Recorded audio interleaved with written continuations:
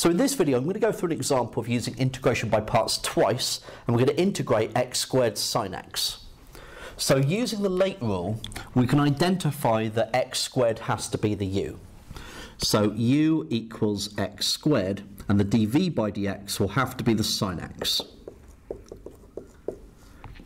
Now we differentiate u with respect to x to get 2x, and we integrate dv by dx to get v.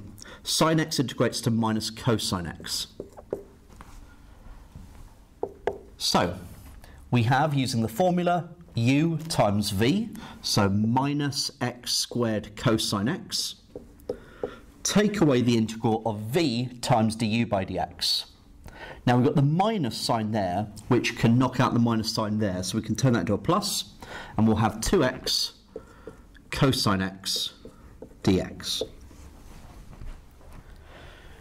Now, the 2x cosine x that we have here in the integral, that uh, needs to be integrated by parts. So, we will do it again. Now, using the late rule, the 2x will have to be the u, and the dv by dx will be the cosine x. So du by dx will be 2. v will be the integral of cosine x, which is sine x.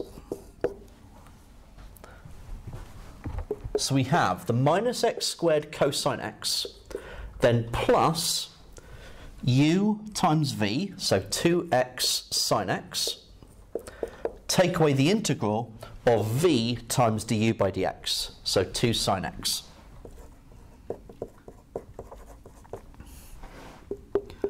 So we have minus x squared cosine x plus 2x sine x, and then minus 2 sine x integrates to plus 2 cosine x. And we've got the plus c constant of integration on the end.